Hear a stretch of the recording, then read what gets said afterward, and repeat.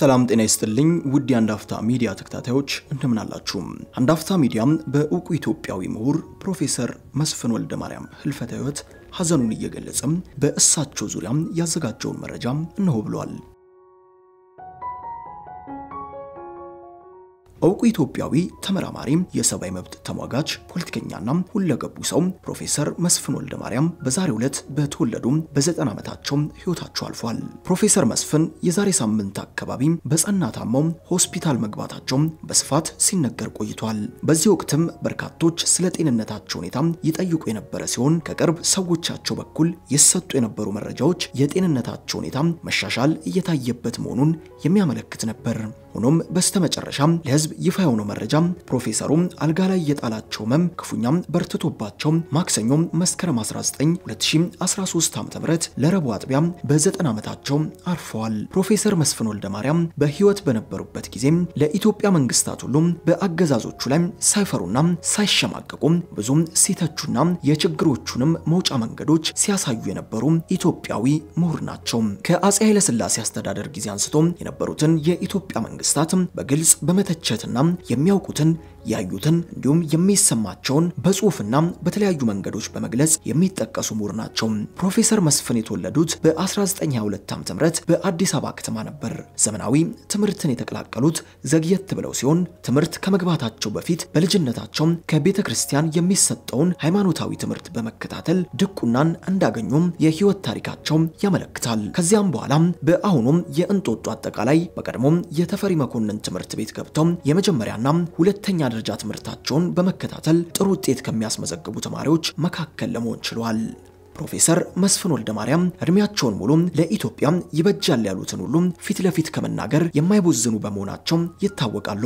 በአዲስ አበባ ዩኒቨርሲቲ በመምህርነት በተመራማሪነት በማገልገል ሰፊ ያለ ጊዜያቸውን በዚህ የትምህርት ተቋም አሳልፈዋል። ከዚህም በተጨማሪም በውጭ ሀገር ዩኒቨርሲቲዎችም አስተምረዋል። በጊምቢ አውራጃም አስተዳዳሪነትም ሰርተዋል። በኢትዮጵያ ለመጀመሪያ ጊዜ የተመሰረተውን የኢትዮጵያ ሰብአዊ መብት ጉባኤ መስርተውና መርተው የህዝባቸው የሰብአዊ መብት እንዲከበር በብዙ ደክመዋል።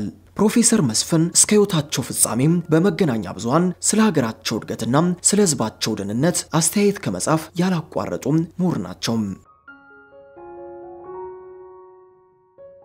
የራሳቸውን የፌስቡክ ገጽም በመፍጠር በተለይ ከአሁኑ ለውጥ ጋር በተያያዘም በርካታም ሂሳዊ ትችቶችንም በማቅረብ ለለውጡ ኃይል መንገድ ለማሳየት ብዙ ጥረዋል። በተለይ team ለማ የተባለው የለውጥ ቡድን ተጠናክሮ በመውጣት ሀገር የማዳኑን ስራ አጠናክሮ እንዲሄድ በርካታም የፖለቲካ ምክረ ሀሳቦችንም በተደጋጋሚ ሲሰነዝሩም እንደነበር የሚታወስ ነው።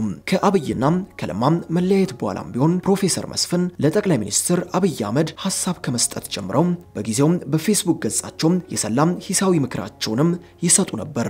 በቅርቡ እንኳን ከህልፈታቸው ጥቂት ቀናት ቀደም ብሎ ኢህአዴግ ከገባ ጀምሮ በጣሊያን ኤምባሲ ውስጥ ተጠልለው ስላሉት የቀድሞቹ የደርግ ባለስልጣናት ጉዳይ ጠቅላይ ሚኒስትር ዶክተር አብይ አህመድ መፍትሄ እንዲያፈላልጉ ሀሳባቸውን ያሰፈሩበት ሁኔታ ነበር። ለማስታወስ ያህል ህወሓት መራሹ ኢህአዴግ የዛሬ 28 ዓመት አዲስ አበባን ሲቆጣጠር ብዙዎቹም የደርግ ባለስልጣናት በቁጥጥር ስር ውለው ተፈርዶባቸው በርካታ ዓመታትን በስራ አሳልፈው ሲፈቱ፣ ሌሎቹ ደግሞ ጣሊያን ኤምባሲ ጥገኝነት ጠይቀው አንዳንዶቹም እስከ ዛሬም እዚያው የሚገኙ መሆናቸው ነው። እናም ፕሮፌሰሩ እንዲህ አሉ። የአብይ አህመድ የይቅርታ መርህ በመስከረም ሁለት ተወልደ በየነ በኢጣሊያ ኤምባሲ የሙጥኝ ስላሉት የደርግ አባሎች ሲናገሩ ሰማውና የይቅርታው መርህ ትዝ አለኝ። ጓደኞቻቸው ቃሊቲ ገብተው ፍርድ ቤት ቀርበው በመጨረሻ ቅጣት ቸውን ጨርሰው ተፈቱ። በኤምባሲ ውስጥ የሙጥኝ ያሉት አንደኛም የቅጣት ህጉም አልተፈጸመም፣ ሁለተኛም እልሃችንና ቂማችንን ለመወጣት ካልፈለግን በቀር በኢጣሊያ ኤምባሲ ግቢ ውስጥ ተዘግቶበት መኖር ከቃሊቲ የበለጠ እንጂ የተሻለ አይደለም። ወዳጅ ዘመድ የማይጠይቅበት ሁኔታ ውስጥ ለብዙ ዓመታት መቆየት እንደ ከባድ እስር የሚቆጠር ይመስለኛል። ታዲያም የምህረቱ ወሬም የት ገባም? ሌላው ቢቀር መነጋገር ያልተቻለው ለምንድን ነው ሲሉ ነበር የጠየቁትም። የፕሮፌሰሩን ህልፈተ ህይወት የሰሙት ጠቅላይ ሚኒስትር ዶክተር አብይ አህመድ በፌስቡክ ገጻቸው ሐዘናቸውን እንዲህ በማለት ገልጸዋል። የሐሳብ ልዕልና ምልክት፣ የሰላማዊ ትግል አራያም፣ ላመኑበት ነገር እስከ መጨረሻው ሞጋች፣ ላመኑበት እውነት ብቻ የሚቆሙት ፕሮፌሰር መስፍን ወልደ ማርያም በማረፋቸው ጥልቅ ሐዘን ተሰምቶኛል። ለቤተሰቦቻቸው፣ ለወዳጅ ዘመዶቻቸውና ለመላው የኢትዮጵያ ሕዝብ መጽናናትን እመኛለሁ። ከዚሁ ጋር በተያዘ ክቡር መተኪያ ኃይለሚካኤል ስለ ፕሮፌሰር መስፍን ወልደ ማርያም እንዲህ በማለት ምስክራቸውን ሰጥተዋል። በ1990ዎቹ መጀመሪያ አካባቢ በዘመነ ኢህአዴግ የአዲስ አበባ ዩኒቨርሲቲ ተማሪዎችን ለአመፅ አነሳስቷል በሚል ውንጀላ የመንግስት የደህንነት ኃይሎች ከፕሮፌሰር ብርሃኑ ነጋ ጋር አንድ ላይ ይዞ ዘብጥ እያወረወራቸው ያን ጊዜ እነ ሻለቃ አድማሴ እነ ፕሮፌሰር አስራትና ሌሎች ነባር ፖለቲከኞች የወቅቱን መንግስት አብዝተው በኮነኑ በጥቂት ጊዜ ውስጥ በሞት በመለየታቸው ተቃውሞ ነፍስን ቁማር አስይዞ የመጫወት ያክል አደገኛ ጨዋታ ስለነበር ያ ትውልድ ብቻ የሚያውቃቸው ወጣቱ ትውልድም እኚህ ሰው ማናቸው ብሎ እንዲመረምር የቤት ስራ ሰጠው። በ1997 እንዲያም የፖለቲካው መነቃቃት ጫፍ ደርሶ በነበረበትና ቅንጅት ለአንድነትና ለዲሞክራሲ ፓርቲ ሀገሪቷን ከዳር እስከ ዳር ህዝብን ፖለቲከኛ አድርጎ በነበረበት ወቅት ጸጉረ ጎፈሬው ባለሰፊ መነጽሩና ከእጃቸው ሲጃራ የማይለያቸው ፕሮፌሰር መስፍን የቅንጅት ፈርጦ ነው ይታዩ ነበር። ምርጫ 97ን ተከትሎ የወቅቱ ገዢ የቅንጅት አመራሮችን ለቃቅሞ ቃሊቲ ሲወረውራቸው በአዛውንትነት እድሜያቸው የወህኒን ስቃይ ለመቅመስ ተገደዱ። ፕሮፌሰር መስፍን እጅግ ግልጽ፣ ሲበዛ ደፋርና ሀሳባቸውን የሚገልጹበት ቋንቋም ማራኪ ነው። የተሰማቸውን ከመናገር ወደኋላ የማይሉት ፕሮፌሰር በአንድ ወቅት በቅንጅት አመራሮች መካከል ተከስቶ የነበረውን እንካ ሰላምታ ሲገልጹ እንደ አቶ ልደቱ አያሌው አባባል ከሆነ የቅቤ ገበያ ብለውታል።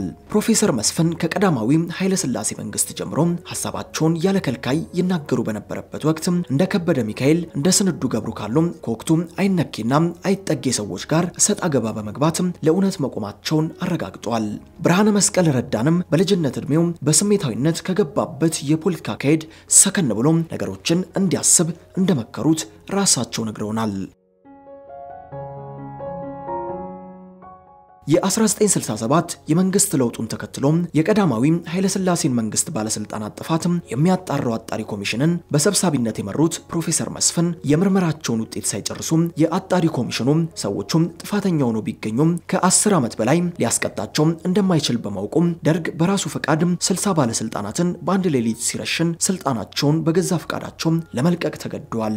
በደቀ መዛሙርቶቻቸው አጠራር የኔታም ከስድስት ዓመት በፊት ከሸገር ሬዲዮ የጨዋታ እንግዳ ፕሮግራም አዘጋጅ ጋዜጠኛ መዓዛ ብሩ ጋር ባደረጉት የሰባት ሳምንት ቆይታ ወቅት ስለ እርሳቸው የማናውቃቸውን ብዙ ብዙ አውቀናል። አንደበተ ርቱዕ የአቋም ሰው፣ ጨዋታ አዋቂም፣ ወዲህ ደግሞ ቁጡም፣ ስፖርተኛም፣ ፖለቲከኛም፣ ታሪክ አዋቂም፣ የእናታቸው ፍቅር በሰማንያ ዓመታቸው ስፍስፍ አድርጎ የሚያስለቅሳቸው የድምፃዊት ብዙነሽ በቀለም ብዙዬ አድናቂ መሆናቸውን ሰምተን አክብረን ለጥ ብለን እጅ ነስተናል።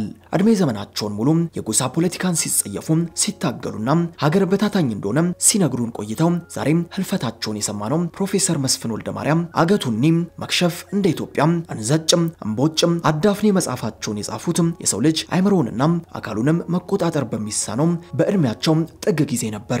ፕሮፌሰሩም ሌላው ብዙሃኑ የማያውቅላቸው ጉዳይ የተዋጣላቸው ገጣሚነታቸውን ነው። የየኔታን የቀለም ቅንድነት ለማወቅ በተለያየ ጊዜ ለአዲስ አበባ ዩኒቨርሲቲ ና ለሌሎች ዓለም አቀፍ ተቋማት ያቀረቡትን የጥናት ወረቀት ማየት በቂ ነው።